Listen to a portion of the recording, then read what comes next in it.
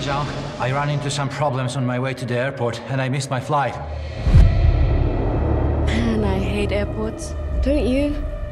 Who are you? Texel Textor. You seem curious about things. You look like a businessman. Look around. This is my work. Angust, tell me, have you ever killed anyone?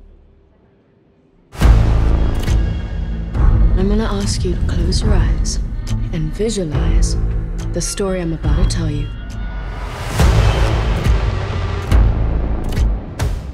Have we met before? Ah, I'm sorry, I don't think so. It was like total perfection. Why are you doing this? Because I feel like it. A lie always needs to be repeated more than the truth to be believed.